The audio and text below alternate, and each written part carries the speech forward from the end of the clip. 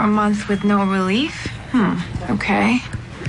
And where is the headache located? All over. It, it moves around.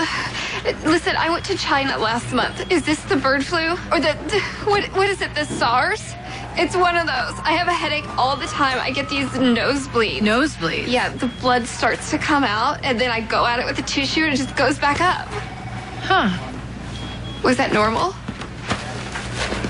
See, you're putting on a mask. I've got the SARS. No, this is just protocol.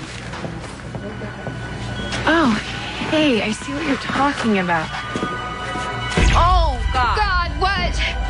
That's not a nosebleed.